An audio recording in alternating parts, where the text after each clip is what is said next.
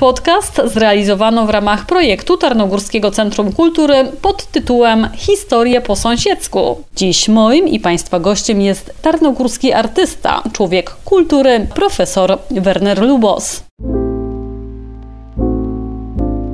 Mama mnie zapisała na lekcję rysunku, które prowadził pan Szlegier. On jeszcze wtedy był studentem na Akademii Sztuk Pięknych w Katowicach. Miał swoich takich uczniów powyżej 18, 20, 20, 20 lat. Ja się tam dostałem mając 9 lat, więc Słuchając jego wykładu, nic nie wiedziałem o co chodzi.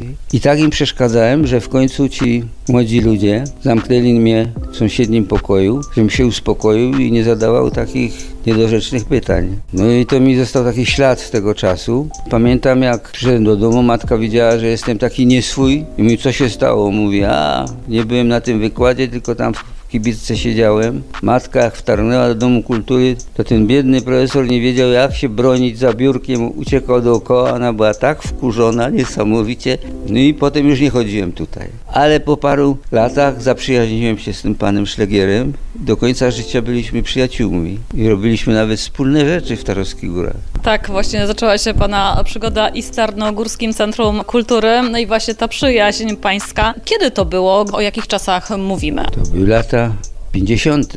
W 41 się urodziłem, no to no 50., 60. w tym czasie to permanentnie tu chodziłem. Zresztą Dom Kultury był inaczej tutaj architektonicznie urządzony. Jak pan zapamiętał Tarnogórskie Centrum Kultury właśnie z tamtych czasów, e, powiedzmy w tych latach 50.? Zapamiętałem Dom Kultury poprzez pana Lisa. On tu był fotografikiem, no bardzo kreatywnym. Potem zresztą wspólnie robiliśmy gwarki. Te moje spotkania to polega na tym, że tu było bardzo dużo ciekawych koncertów. Tej młodej awangardy jazzowej czy innej, to tu się odbywały koncerty. Tu były też spektakle teatralne. To chodziłem tutaj, a oprócz tego była ta sekcja taneczna, więc tu były często po prostu takie spotkania no czysto artystyczne bym powiedział, to mnie interesowało tutaj. Potem jak ten Dom Kultury został przebudowany, to był czas budowy tego nowego Domu Kultury. No i też pamiętam tu taką ważną e, chwilę w moim życiu i nie tylko w moim życiu, ale to jest ważne dla, dla kultury miasta.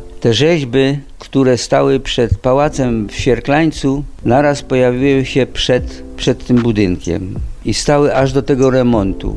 To były takie putta, tej wielkości może 1,33 m i w pewnej chwili widziałem, że one zniknęły. I przez przypadek pomyliłem po prostu miejsce zgłoszenia się po studiach jako żołnierz. Pomyliłem po prostu magazyny. I w jednym z magazynów widziałem takie formy wielkości tych rzeźb, które tu stały.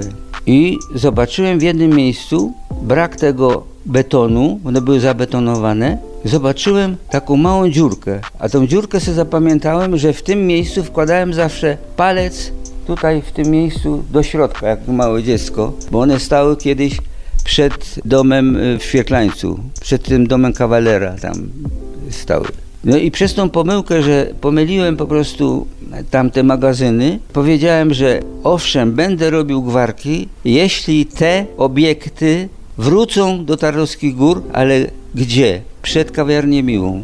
I rzeczywiście zrealizowali to. One zostały odnowione i stały po prostu te rzeźby przed, przed tą kawiarnią i po pewnym czasie zostały przeniesione do, do Świerklańca. No i potem już jest dalsza droga, która tam nie będę o tym mówił, ale jest fakt, że przez przypadek uratowałem te, te, te rzeźby. Może jeszcze zatrzymamy się w tych takich wczesnych latach. Proszę mi powiedzieć, jak pan wtedy zapamiętał ten obiekt, bo powiedział pan, że no, widział pan, jak on się zmieniał na pana, pana oczach. No bo wiadomo, kiedyś tutaj zupełnie był inny budynek, później przebudowano, wybudowano na nowo. Z tych naj, najwcześniejszych lat, jak to wyglądało? No, wchodziło się do, najpierw do tego holu dużego się wchodziło, tak? Kasa była po lewej stronie i zaraz się wchodziło do tej dużej sali ze sceną, taką profesjonalną, a po lewej stronie była taka, taki układ dużych okien i często pamiętam, jak nie mieliśmy pieniędzy jako małe dzieci, to żeśmy wchodzili jeden na, na, na drugiego, żeby obserwować te spektakle, które się tam dzieją przez okna, bo dzieci nie miały pieniędzy, żeby sobie tak wejść. Ale muszę powiedzieć, że ta sekcja taneczna była na bardzo wysokim poziomie.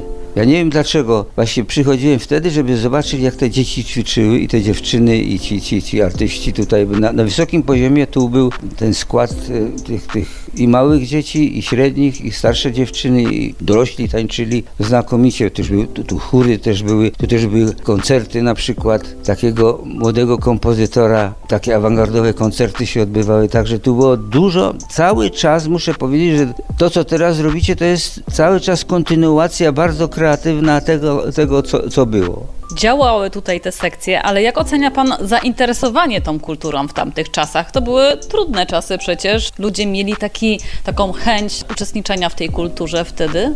Ja miałem kontakt z tymi młodymi ludźmi i widziałem, że byli bardzo zaangażowani, jeśli chodzi o chodzenie na te ćwiczenia. Tu był zespół taneczny i to nie tylko polegało na tym, że oni występowali, tylko permanentnie ćwiczyli tutaj. Dalej była ta sekcja fotograficzna też bardzo prężna. Także ja oceniałem ich takim no, młodym, wrażliwym spojrzeniem mm, bardzo wysoko ceniłem to, co tu się działo. Dlatego, że kolej była tak, takim, no wydaje mi się jeszcze no, dobrze sponsorowana, także miała pieniądze na, na tego typu działa, działalność. Nie? Tu widzę, że jest dalsza kontynuacja tego. Oczywiście w innych warunkach, inne technologie są, wiadomo, że to, że to się zmienia, ale te podstawy są, były tu bardzo mocne, ja uważam. I tu bardzo dużo ludzi przychodziło na te wszystkie, czy spotkania muzyczne czy teatralne, zawsze tu pełno ludzi chodziło do tego obiektu. Pan tutaj kładzie nacisk na zajęcia taneczne, baletowe, no bo pana własna osobista tak, żona też w tym od dziecka uczestniczyła. No, uczestniczyła od dziecka, no potem jak, jak weszliśmy w związek małżeński, to już nie było czasu, bo się już e, ro, rodziły dzieci e, jedno po drugim, ale które też artystycznie i z jednej i z drugiej strony były uwrażliwione i właściwie większość z nich została artystami tylko jeden się wyłamał, ten najstarszy, ten pierwszy, bo jest lekarzem, a reszta to, no i Basia jest aktorką, Aurora tancerką, Artur rzeźbiarzem, także już to moje Drugie pokolenie też jest, zajmuje się sztuką. Tylko jeden się wyłamał. Nie? Praktycznie cała rodzina artystów. A czy oni też tutaj jako dzieci zaglądali do Tarnogórskiego Centrum Kultury? Basia tak. Aurora już, już mniej było, to już były inne czasy. Zresztą ten Dom Kultury miał taką przerwę, bo on był na nowo budowany, także to była taka mała przerwa. Ale cieszyłem się, że to się odrodziło po prostu. Że znów to jest takie prężne Centrum Kultury i oby tak było jak najdłużej i najdalej.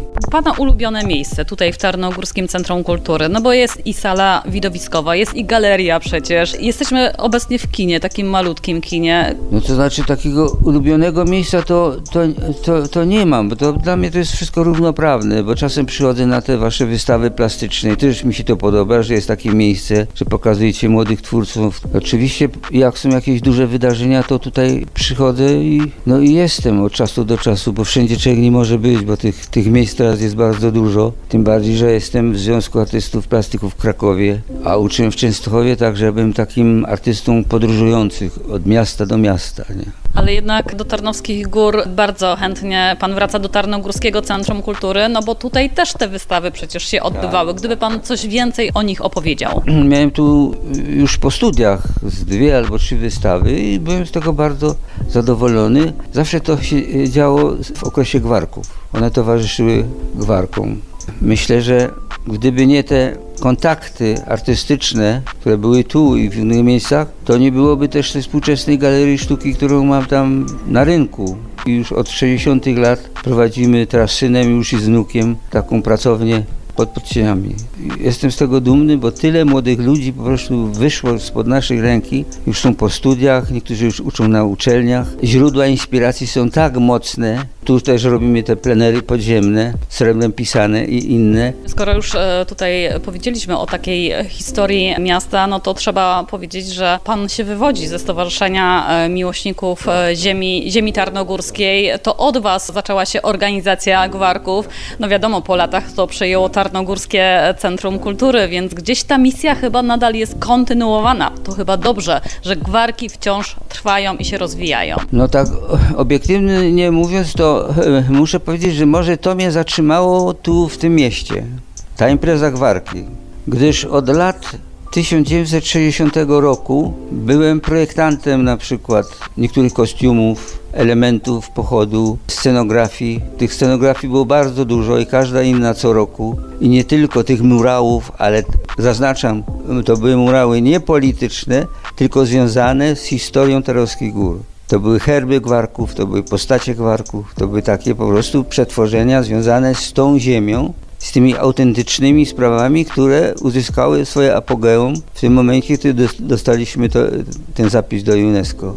Czy tymi plenerami, które były z inspiracji podziemi, one, te, te, ta ziemia dalej inspiruje po prostu i to trzeba wykorzystać jak najbardziej bo to jest takie atrakcyjne. Jak przyjeżdżają artyści, to to się nazywa plener w cudzysłowie. Plener to jest dla otwartej przestrzeni, tak? A tu jest ten myk taki intelektualny, że chodzi o tą przestrzeń podziemną i to ich niesamowicie inspiruje, bo te plenery zewnętrzne to już upadły. One były kiedyś bardzo w Europie znane. W tej chwili nie ma takich plenerów, tych ofen takich, nie. Ostatnie takie plenery to organizowała Darmstadtska Secesja łącznie z, z artystami z Krakowa przez wiele lat w Prowansji. Ale to jest, to jest zupełnie co innego jak tutaj. Tam jest inne światło, tu jest inne światło. Tu jest światło po prostu płonących kaganków i tak dalej. I ta struktura wewnętrzna jest tak interesująca, bo mamy tą świadomość, że to wszystko zostało ciężką robotą zrobione przez tych, przez tych ludzi, którzy nas wy, wyprzedzali. Nie? I to ma taki transcendentny charakter bardziej kontynuacja właśnie waszego pomysłu, waszej idei organizacji gwarków e, przeszła na Tarnogórskie Centrum e, Kultury, bo oni od kilku dobrych lat są głównym organizatorem e, tak, tego, tak, tak. tego wydarzenia. Idą w dobrą stronę. No przecież warto zauważyć, że pochód gwarkowski chociażby w tym roku tak. został wpisany na niematerialną listę krajowego dziedzictwa. Ja słyszałem o tym, ale o tym fakcie, że został wpisany, to dopiero od pani teraz słyszałem. Tak. A, to jestem, to, to bardzo, bardzo miło, to bardzo miło. No to trzeba to dalej utrwalać, bo to jest piękna, piękna rzecz, naprawdę. Pana praktycznie całe życie jest związane z Tarnowskimi Górami, z Tarnogórskim e, Centrum Kultury, no bo przecież pan jest twórcą tarnogórskim, e, artystą tarnogórskim. Też pana jubileusz właśnie w tym miejscu się odbył. No, byłem wdzięczny za ten jubileusz z dwóch powodów, że nie występowałem o to, ale się zdarzył, to wtedy jest większa satysfakcja. Jak człowiek chodzi i prosi i potem to jest, no to jest takie troszkę takie pejoratywne. Ale muszę powiedzieć, że ja mam również taki bardzo dobry kontakt z tym moim środowiskiem w Krakowie. Teraz miałem taką wielką retrospektywną wystawę w Częstochowie z całego mojego dorobku życiowego. I również druga wystawa jest taka bardzo znacząca. Taranczewski i jego uczniowie. I zostałem wybrany, tych, tych dziesięciu uczniów zostało wybrany i tak to jest, to jest taka wystawa, która po całej Polsce będzie pokazywana. Teraz jest w Pałacu Sztuki w Krakowie, była już w Rzeszowie, teraz będzie w Tarnowie i będzie tak po prostu szła. Gdyż ten profesor Taranczewski miał, wychował no, bardzo liczne grono ludzi, którzy są profesorami, rektorami i na rynku światowym są bardzo znanymi artystami. No i tam się też znalazłem wśród, wśród tej, tej grupy i, i jestem z tego wdzięczny, że tak jest ta pamięć po prostu. Panie profesorze, ale wszystko, wszystko zaczęło się w Tarnowskich Górach. Można tak powiedzieć przecież, pana talent został tutaj odkryty. Będzie zawsze pan dobrze myślał pewnie o tym mieście i o takiej instytucji kultury jak Tarnogórskie Centrum Kultury.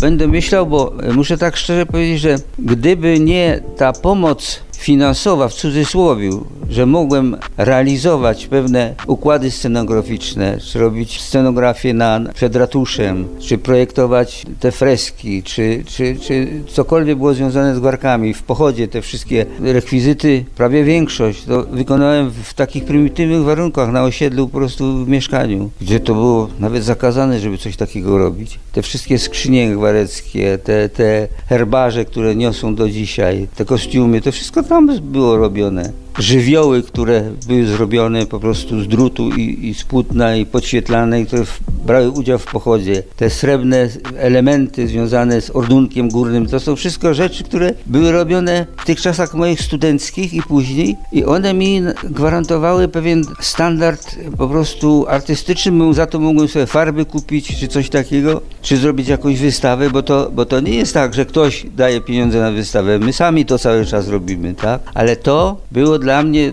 duże wspomożenie, że mogłem po prostu z okazji tych warków zarobić na, na kupno farby i zrobienie jakiejkolwiek wystawy. I rozwijać się artystycznie mógł pan e, właśnie dzięki temu. Jak pan ocenia w ogóle działalność, już taką klamrą, działalność i znaczenie społeczne Tarnogórskiego Centrum Kultury? Ja się cieszę, że to centrum jest, po pierwsze. I ono ma takie wielorakie znaczenie, bo tu wiem, że jest i taka sekcja, i taka sekcja. E, Są te wystawy plastyczne, są filmy pokazywane na wysokim poziomie, bo tu już od wielu lat moja żona tu jest chyba częstym bywalcem, także mogłaby e, robić wykłady na temat filmów i kinematografii. Także cieszę się, że to na tych wielu aspektach po prostu wrażliwości pracuje, nie?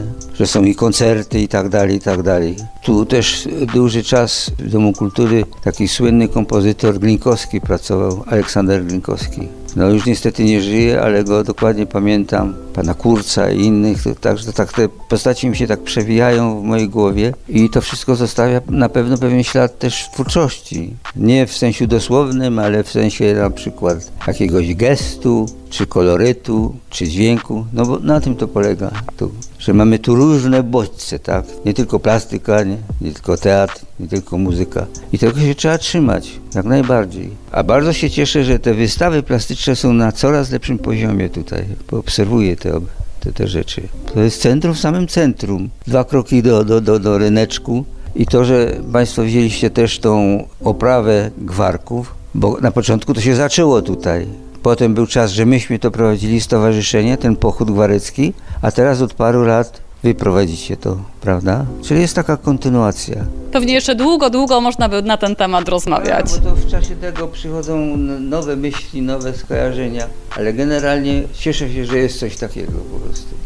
Ale cieszyłbym się jeszcze więcej, gdyby powstało dodatkowo to Muzeum Sztuki Współczesnej w Tarnowskich Górach, dlatego że jest taki wysep talentów. Słuchajcie, jak to zmarnujemy, to nam Pan Bóg tego nie przeboczy, naprawdę.